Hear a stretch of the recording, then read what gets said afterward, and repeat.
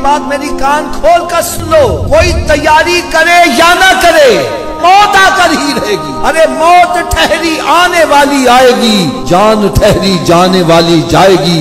अरे रूह रग रग से निकाली जाएगी, तुझ पे एक दिन खाक डाली जाएगी। हाथी जैसों को पछाड़ा मौत ने, खेल कितनों का बिगाड़ा मौत ने। कब्र में मैयत उतरनी है ज़रूर, जैसी करनी वैसी भरनी है ज़रूर।